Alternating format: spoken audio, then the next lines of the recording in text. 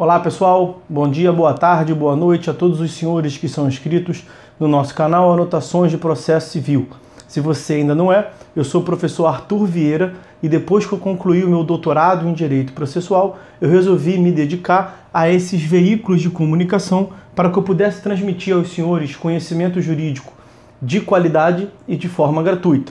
Aqui eu vou pontuar o meu e-mail de contato para que eventuais interessados possam estabelecer um contato mais direto Inclusive, nós podemos eventualmente considerar a hipótese de publicar um artigo científico em conjunto, tá certo? Bom, gostaria de pontuar também com os senhores o nosso canal no YouTube. Se você ainda não é inscrito, basta clicar no ícone do livro que fica no canto inferior do vídeo para que você se inscreva. Sugiro também que você clique no ícone do sininho para que você possa ativar as notificações dos vídeos que são constantemente disponibilizados por aqui, Gostaria de apresentar também aos senhores a nossa plataforma acadêmica arturvieiracursos.com.br arturvieiracursos.com.br onde os senhores encontrarão cursos online de modo gratuito, inclusive com a emissão de certificado válido em todo o território nacional, tá certo? Então, após a pausa, nós vamos tratar do vídeo de hoje. Então, amigos, Vamos é, dar prosseguimento no vídeo de hoje, a análise do nosso livro, Anotações de Processo Civil. Nós estamos na segunda parte do livro, tratando dos procedimentos especiais. Mais precisamente, nós estamos analisando os procedimentos especiais constantes do CPC e ainda mais precisamente, nós estamos vendo, começamos a ver nos últimos vídeos, a ação monitória e vamos continuar no vídeo de hoje tratando desse tópico, os elementos que a inicial da ação monitória deve conter. Vamos, portanto, a esse tópico. A narrativa constante da peça inicial e a prova escrita apresentada pelo autor deverão abranger, ainda que indiretamente, como se frisou, a constituição, ou seja, o evento gerador, e a exigibilidade, a ocorrência do termo ou condição do crédito. Qualquer espécie de obrigação, o Código de Processo Civil de 2015 ampliou a hipótese de cabimento da, da ação monitória, tanto para obrigação de pagar, obrigação de entrega de coisa, fungível, infungível, móvel ou imóvel, fazer ou não fazer. Deverá existir a adequada exposição dos fatos constitutivos do crédito pretendido. Os documentos escritos trazidos com a inicial, em vez de dispensar tal narrativas, apenas servirão de prova dos fatos narrados. A fundamentação da peça inicial e a prova escrita envolverão ainda os fatos que permitam a determinação da quantidade devida, quando se tratar de dinheiro ou bem fungível. É que não há espaço para nenhum procedimento liquidatório, quer entre a expedição do mandado e a sua comunicação ao réu, quer entre a fase cognitiva e a executiva. Aliás, e também por essa razão, terá de acompanhar a inicial o demonstrativo do cálculo da quantia devida pois na hipótese de ser concedido o mandado de cumprimento e o réu não embargá-lo, diretamente se ingressará na fase executiva. No CPC de 2015, os artigos 798, inciso 1 a linha B, e artigo 700, parágrafo 2 inciso 1 O CPC de 2015 deixa claro que o autor deve expor na petição inicial da ação monitória, inciso 1 a importância devida, instruindo-a com a memória de cálculo. Inciso 2 o valor da coisa reclamada. Inciso 3. O conteúdo patrimonial em discussão ou o proveito econômico perseguido. Parágrafo 2 desse mesmo artigo 700. O não atendimento desses requisitos implica o indeferimento da petição inicial. Esse é o que é o previsto no parágrafo 4 do artigo 700. O juiz, quando reputa inviável a concessão do mandado monitório de cumprimento, deverá dar oportunidade para o autor. Em primeiro lugar, apresentar novos documentos que eventualmente ajudem na formação do convencimento do juiz ou, em segunda, segunda hipótese, não havendo novos documentos a juntar, o autor deve emendar a sua inicial, optando pelo, pelo procedimento comum de conhecimento para que é, venham novas modalidades de prova. Havendo defeito insanável, exemplo, a impossibilidade do pedido de cobrança de dívida de jogo, ocorrência de dispendência, ou ainda nas hipóteses é, do parágrafo anterior, não se dispondo o autor é, da emenda da petição inicial, o juiz proferirá sentença extinguindo o processo monitório. Contra essa sentença de extinção caberá apelação, artigo 1009 do CPC de 2015. Seja qual for o fundamento dessa sentença extintiva, ela não fará coisa julgada. Mesmo quando o juiz extinga o processo por reputar não existir o direito do autor, o que é indubitavelmente exame de mérito, não ficará afastada a repropositura da mesma demanda. É que a decisão do juiz nessa fase do procedimento funda-se em mero juízo de verossimilhança, mera aparência de verdade, portanto, não podendo por isso ser dotada da autoridade de coisa julgada. Se o réu não apresentar embargos ao mandado no prazo de 15 dias, nem pagar, a decisão que havia concedido a expedição de tal mandado monitório se converterá de pleno direito em título executivo judicial. A doutrina tem discutido intensamente se tal decisão não embargada faz coisa julgada material, ou seja, se seria ou não possível o réu propor depois disso outra demanda pedindo o reconhecimento da inexistência do direito do autor. Pelos seguintes motivos, entre outros, parece mais adequado o entendimento de que não existirá coisa julgada nessa hipótese.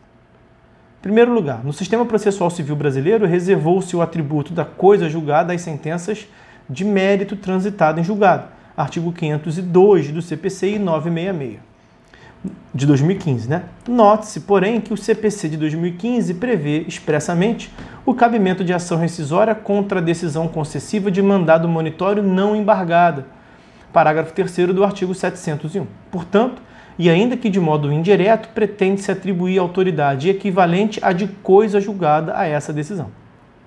O título executivo constituído de pleno direito tem por base simples decisão e não sentença.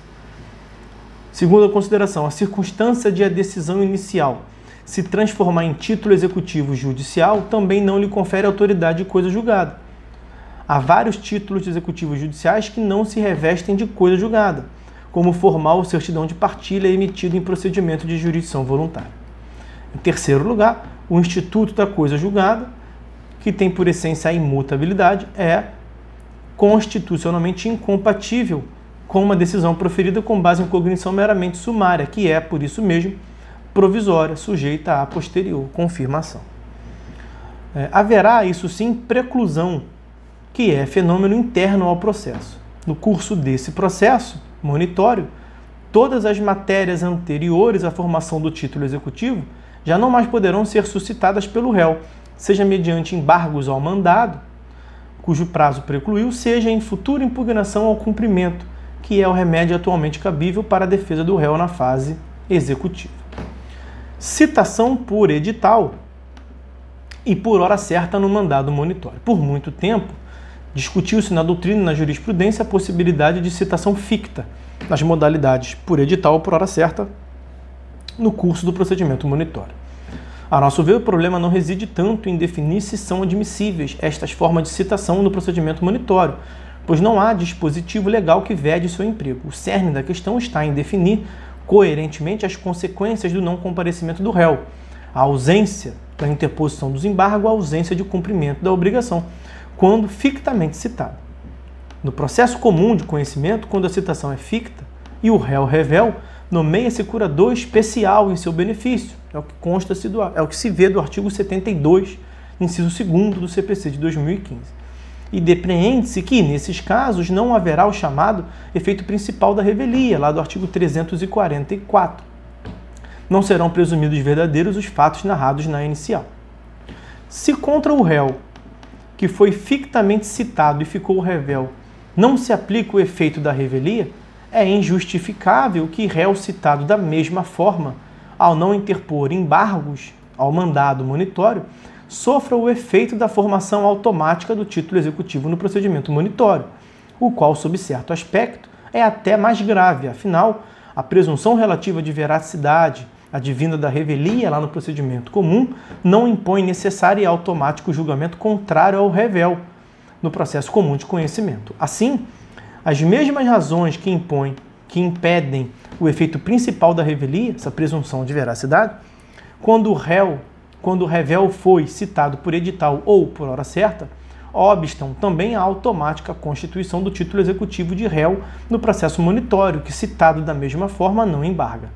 Essa conclusão é inclusive reforçada pelo entendimento jurisprudencial, agora simulado pelo STJ, segundo o qual, ao executado que, citado por edital ou por hora certa, permanecer revel, será nomeado curador especial com legitimidade para apresentação de embargos, que é a modalidade defensiva nos, na execução. É o enunciado de súmula 196 do STJ. Então, se mesmo na execução que já se inicia por título executivo prevalece esse entendimento, não pode ser diferente no processo monitório. Surgindo necessidade de citação ficta no processo monitório, procedimento monitório, procede-se ao ato de cientificação da demanda por edital ou por hora certa e aguarda-se o decurso do prazo. Comparecendo o réu para pagar, cumprir a obrigação ou embargar, não há problemas. Em caso contrário, caberá a nomeação de curador especial com legitimidade para interpor embargos ao procedimento monitório. Apesar de tudo isso, não se pode afirmar que, havendo necessidade de citação ficta, seria incabível o procedimento monitório, uma vez que, em primeiro lugar, por vezes, a necessidade de citação ficta só é constatada depois que o processo já se iniciou, e não é cabível subordinar o processo a um pressuposto que só se define depois de sua instauração. Um fato superveniente, portanto. Em segundo lugar, há sempre a chance de que a citação, mesmo se dando por edital, chegue ao efetivo conhecimento do réu, mesmo que diminuta essa possibilidade. E este, o réu, incentivado pela isenção de custas e honorários, vem a optar por cumprir o mandado. Nessa linha, a súmula, o enunciado de súmula 282 do STJ, que admite a citação por edital no processo monitório. O CPC de 2015 deixa claro que na ação monitória admite citação por qualquer dos meios permitidos para o procedimento comum, estancando, portanto, eliminando qualquer tipo de dúvida. É o que se vê do parágrafo 7 do artigo 700. Embargos ao mandado monitório é a forma de defesa do réu, do demandado, nesse tipo de procedimento. Discute-se ainda qual a natureza dos embargos ao mandado ação própria que instaura processo incidental, a exemplo do que ocorre com os embargos à execução, ou contestação dentro do processo monitor. A resposta pode ser dada pela comparação de dois modelos de procedimento monitório tradicionalmente utilizados. Em um deles, o juiz profere no início o mandado de cumprimento da obrigação. Se o réu se opuser, o mandado que inicialmente lhe foi apresentado perderá sua eficácia monitória e passará a valer como simples citação. No final, haverá sentença condenando ou não o réu ao cumprimento da obrigação. Se o réu não cumprir a obrigação nem se defender, será proferida sentença confirmando a ordem inicial. Nesse primeiro sistema, a atuação do réu se faz por contestação. No segundo modelo, a impugnação do réu apenas suspenderá o mandado de cumprimento da obrigação. Se julgada procedente a impugnação, o mandado será só nesse momento desconstituído. Se improcedente, a ordem inicial de cumprimento passa a valer por si só, como título executivo. Nesse modelo, a impugnação do réu funciona como outra demanda, autônoma em relação à demanda de tutela monitória. A nossa legislação sobre monitória, sobre o procedimento monitório, sobre a ação monitória, estabeleceu que o mandado ficará suspenso quando forem interpostos embargos. Vejam o parágrafo 4 do artigo 702. Previu também que, julgados improcedentes os embargos, o mandado inicial vai se converter de pleno direito em título executivo. Parágrafo 8 do artigo 702 do CPC de 2015, independentemente de sentença final. Isso, ao nosso ver, basta para descatar que os embargos sejam contestação constituem forma incidental de desconstituição do provimento inicial e ou de reconhecimento da inexistência do crédito, o que no sistema processual brasileiro é feito por meio de nova demanda, geradora de outro processo. Frise-se, porém, que o tema é ainda bastante controvertido. Os embargos ao mandado devem ser apresentados no prazo de 15 dias da juntada aos autos do mandado de pagamento independentemente de qualquer garantia para o juízo, seja mediante penhora, calção ou depósito. Havendo vários réus, o prazo se conta da juntada aos autos do último mandado. Já há decisões de tribunais no sentido de que, mesmo sendo diferentes os procuradores dos vários réus, não se conta em dobro o prazo para embargar, vez que tal ato não estaria inserido na cláusula geral de falar nos autos. Toda e qualquer matéria que serviria de defesa ao réu em processo comum de conhecimento poderá ser suscitada. Artigo 702, parágrafo 1. No processo incidental de embargos, as partes terão direito à ampla instrução probatória. Não perdura a exclusividade da prova escrita, vigente apenas na fase inicial do procedimento monitor. De acordo com o enunciado de súmula 292 do STJ, cabe reconvenção à ação monitória, uma vez que, com a oposição dos embargos, o procedimento torna-se ordinário. No CPC de 2015, admite a reconvenção em ação monitória, mas não a reconvenção à reconvenção. Vejam a esse teor o parágrafo 6 do artigo 702 do CPC. São cabíveis todas as formas de intervenção de terceiros, entendimento com o qual nem todos os doutrinadores concordam. Mesmo a denunciação da lide e o chamamento ao processo são aplicáveis. No primeiro caso, o embargante denunciante ingressa com ação regressiva de denunciação contra o terceiro denunciado, para o caso de ser confirmado o mandado inicial de pagamento. No segundo, o embargante chama ao processo outros devedores solidários ou o devedor principal por ele afiançado, a fim de que, caso confirmado o mandado inicial, a força executiva daí proveniente estenda-se também aos chamados ao processo. O ônus da prova cairá principalmente sobre o embargante, na medida em que lhe caberá destruir aquele juízo de verossimilhança que se estabeleceu graças à prova escrita que o embargado apresentou de início. A sentença de procedência ou improcedência dos embargos ao mandado monitório fará coisa julgada. Se de improcedência, acobertará cada uma das causas de pedir apresentadas pelo embargante, como extintivas, modificativas ou impeditivas do direito pretendido pelo embargado se a sentença acolher o pedido de embargos, quando os embargos tiverem sido de mérito, reconhecerá com força de coisa julgada material a inexistência total ou parcial do crédito que o embargado sustentar ter, ou, quando os embargos só tiverem veiculado questões processuais, apenas invalidará o processo monitório. Obviamente, pode haver nos embargos acumulação de matérias processuais e de mérito. A sentença de rejeição por razões de mérito ou preliminares, processuais, portanto, dos embargos não será o título autorizador do início da execução no processo monitório. A lei é razoavelmente clara. Rejeitado os embargos, a decisão inicial concessiva do mandado converter-se-á em título executivo. O recurso cabível contra a sentença de acolhimento ou rejeição de embargos é a apelação. Parágrafo 9 do artigo 702 e artigo 1009 do CPC a ser recebida no duplo efeito. Alguns autores negam que a sentença contra a rejeição dos embargos tenha efeito suspensivo. Invocam a aplicação analógica do artigo 1012, parágrafo 1, inciso 3 do CPC de 2015, que trata da sentença que rechaça os embargos à execução. Mas as hipóteses de apelação sem efeito suspensivo do artigo 1012, parágrafo 1, em nosso sistema não são exceções à regra geral motivo porque não parece apropriado conceder-lhe interpretação ampliativa, ainda que se reconheça que seria melhor se o legislador tivesse negado o duplo efeito para a sentença que rejeita os embargos ao mandado. No CPC de 2015, a previsão de que a apelação contra a sentença dos embargos ao mandado não terá efeito suspensivo. É o que consta do parágrafo 4 do artigo 702 a oposição dos embargos suspende a eficácia da decisão referida no caput do artigo 701 até o julgamento em primeiro grau. Vamos ficar por aqui por hora, meus amigos. Fazer um corte no vídeo para evitar que ele fique demasiadamente extenso. No próximo vídeo, nós vamos finalizar a análise da ação monitora pelo tópico que aparece na tela para os senhores, a fase executiva do procedimento monitório. Tá certo? Então é isso. Por hora é só. Fiquem todos com Deus e até uma próxima.